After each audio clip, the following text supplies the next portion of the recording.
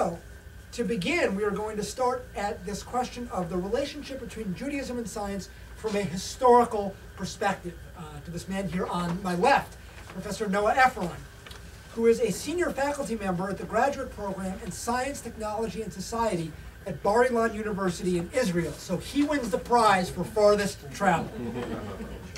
He's also a member of the executive committee of the International Society for Science and Religion. He's been appointed to serve on the Israeli Ministry of Agriculture's committee to evaluate and regulate genetically modified agriculture and invited to participate in Knesset deliberations on human cloning. His Judaism and Science, a historical introduction, was published by Greenwood Press at the start of 2007, and he was awarded a Philadelphia Center for Science and Religion book grant, with the support of which, are you still presently writing it, or is still, it still uh, presently? uh, writing the book Playing God, hum, Human and Divine in the Age of Biotechnology, which will be published by Harvard University Press. Professor Efron's essays on the politics of religion and the politics of science have appeared in the Jerusalem Report, Midstream, Tikkun, Jewish Action, Hadassah Magazine, World Jewish Digest, and the book, Boston Book Review, for which he was a contributing writer. He lives in Tel Aviv with his wife, daughter, son, mutt, and bunny. So please join with me in welcoming Noah Efron. Thank you. Um, we now have a cat as well. Her, her name is Louisa May Alcat, and um, and um, uh, and then uh, last year I, I, I, published a book called The Chosen Calling: Jews um, and Science in the 20th Century, which if you buy on Amazon, I get a dollar twenty-five every time. So you should do that. Um, Jeff, thank you so much. It is such um, an honor, and really, I, I'm so happy to be here in this room, which in, in many ways seems to me to be like the one small step towards the world to come. It's really lovely to see so many people interested in this topic that's so important in such interesting ways um, from the proposals that I, I read. Um, so um, I'll begin like this. An American kid uh, celebrating his bar mitzvah anytime from 1935 to 1960 was bound to receive um, among the Kiddush cups and the prayer books and the watches and fountain pens, an oversized volume called From Moses to Einstein, They Are All Jews by a man named Mac Davis. Um, my father's copy sits on my shelf. The book never went out of print in those 25 years. It begins with biographies of Moses and of Bar Kokhba and of Maimonides, but quickly enough, it turns to such modern heroes as Abraham Schreiner, the Galicia Jew, who first synthesized petroleum, and then to Zygmunt Marcus, the Viennese Jew who engineered the first horseless wagon, then Otto Lilienthal, the German Jew who designed the first manned aircraft, Albert Michelson, the Chicago Jew, who calculated the speed of light and who harvested a Nobel Prize. Then Paul Ehrlich and August uh, von Wassermann, who discovered a cure for syphilis, an achievement for which they also won Nobel Prizes. Then Karl Landsteiner, who devised blood typing, again winning a Nobel Prize on and on and on through Nobel, Nobel laureates until Albert Einstein himself. So from Moses to Einstein is a charming expression of Jewish pride in the middle of the, for Jews, tumultuous and fearsome 20th century. Um, and it's also a polemic arguing that the brilliant distinction of Jewish scientists in the 20th century was the product, in fact, of a tradition of scientific excellence of Jews stretching back thousands of years. That idea is everywhere. When the great physicist died, Israel's education minister, Benzion Dinur, wrote of him, quote, Albert Einstein exemplified the ideal man of wisdom as conceived by the Jewish sages through the ages. But matters are more complicated than this applies. There is no Jewish tradition of scientific excellence. There has never been a unified Jewish attitude towards nature at all, and how, and whether, and when it should be studied. Throughout history, an almost anarchic pluralism has reigned among Jews when it comes to science. Some saw religious value in it, others didn't. Often Jews were apathetic about science. There were rare times when Jews opposed this or that theory or finding of science, and there were times when Jews embraced this theory or that with enthusiasm as somehow as confirmation of the Torah or of the rabbis. This babble of attitudes really isn't surprising. When you think about it, diversity like this is exactly what you'd expect from a people who live spread around the globe in contact with countless cultures over three long millennia. So I, I was asked to speak about the history of Judaism and science. So it's with some embarrassment that I find myself saying at the very start, there is no history of Judaism and science, there are complicated multiplicities of histories of Judaisms and sciences in different times and places. Still, when you look at the long sweep of Jewish engagements with science, some patterns do recur. One pattern is that religious engagement, what some people call theological engagement, with the questions that science raises, is in fact rarer historically among Jews than among Christians and among Muslims. There were some religious or theological engagements. Some Jews in different places and times argued that understanding the, the world that God made does in fact allow us to understand God and His Torah. On rare occasions, others concluded that this or that scientific theory challenged the validity of Torah and therefore we need to reject it. This was rare, though, in part because early on, Jews developed an exegetical strategy, a tradition of interpretation that always saw interpretations as superior to literal readings of the text, always. Thus, when science produced knowledge that seemed to conflict with Scripture, it was always possible, and it was even traditional, to reinterpret Scripture. Overall, this had the effect of diminishing the danger of scientific knowledge to Jewish knowledge. It diminished the danger by diminishing the degree to which, strictly speaking, science was relevant to Judaism at all, and vice versa. Often, this had the further effect of diminishing the importance that science held for Jews. So Rabbi Judah Loew ben Betzalel, the great Maharal of Prague, wrote at the very start of the 17th century that what we call science has practical value, he wrote, just like the knowledge of a shoemaker has practical value. The statements of the scientists may be true, Maharal argued, but they really don't matter in a way that the statements of the rabbis matter. They matter in a certain way, and they're important, and they're true, and they're valuable. They may teach us about the world, Maharal believed, but not about its creator.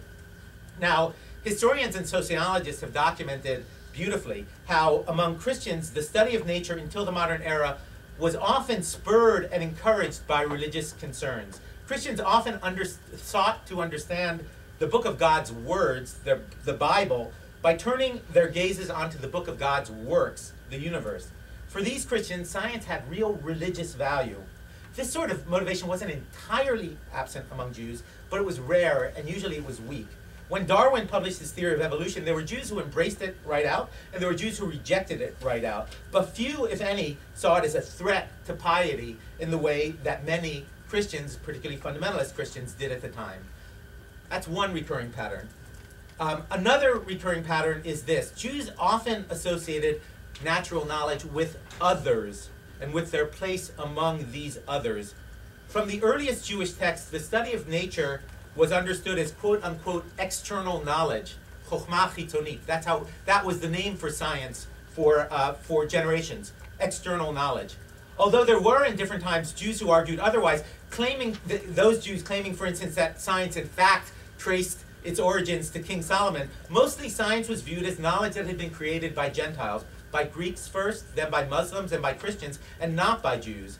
This identification of the origins of science with others sometimes produced in Jews a feeling of cultural inferiority, but more often it led them to somewhat lightly disparage the importance of science itself, which they often accepted, but accepted as the achievements of others.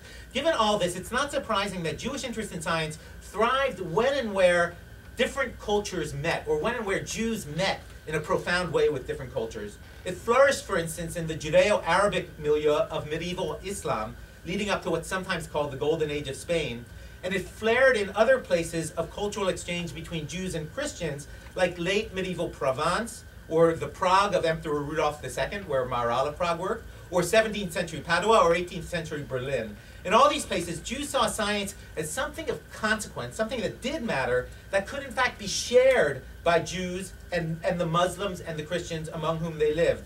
Because science is universal, they argued, and because it's about a world that we in fact all share, not a Jewish world, not a Christian world, not a Muslim world, but the world, these Jews saw science as something that could join Jews and others, as a bridge in times and places when such bridges were very hard to find indeed. Something like this was behind the conclusion of many Jews in the modern era that science has a big role to play in integrating Jews into the Western societies in which they found themselves.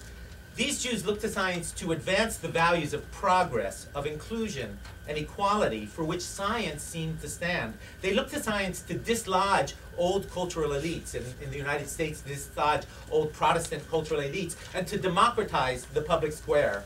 At the same time, they looked to science to dispel the parochialism of Jews themselves as they made their world from isolated traditional communities from, say, the Pale of Settlement in Russia into the cultural centers of the West.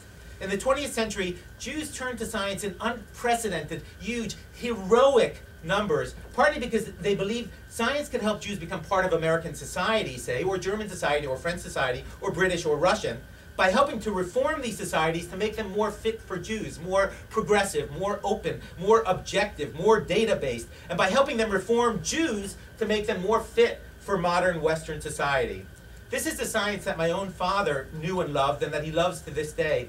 My father, whose own parents came here to New York from Russia after the First World War, found themselves greenhorns, kept at bay from the center of powers and status in this city, earning their livings by pulling carts and selling whatever they could find to sell to whomever they could find to buy. My father, who went to City College and then to Columbia and NYU, like so many of his generation to master a science, psychology in his case, that would allow him to move into American society in a way that his parents never could. And that would allow him to fight to reform American society. Reform in both senses, to reshape it and to improve it at the same time. To reform American society into a society that lived by the values of science itself in which the worth of a person is not judged by where he came from, or the timbre of his accent, or the nap of his hair, or the building he prays in or chooses never to pray in. To my father, like so many Jews of his generation, science was a tool, a way into a society in which Jews were still viewed with suspicion and often distaste. It was a tool and it was also an ideal of being meritocratic, objective, progressive, open, and inviting to all who had the talent and the will and the brains and the gumption to take part. So if one pattern finds in the anarchic pluralism of Jewish history um, that Jews only rarely care deeply about how the ideas in science, the capital T theories, fit with Judaism itself. And if another pattern is that Jews in different circumstances saw science as inseparable from the relations or from the relations between Jews and others, Christians and Muslims among whom they live, a third pattern can be expressed with this tautology. Science mattered to Jews when science mattered to Jews. What I mean is, most often, when science mattered to Jews, it was not because of a grand abstraction, big bangs and the like. It was because it affected the way we Jews lived our lives. I mean this, for a lot of Jews as I, in the 20th century, as I've said, science offered a way into Christian society, and a way to make Christian society less exclusionarily Christian.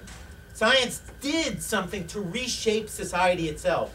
For a lot of Jews living in the Yishuv and then in Israel, to this day where I live, Science matters because it offers a way to protect ourselves and to enrich ourselves and to participate in the world as respected, even revered partners, a dignity that's not often granted Israel.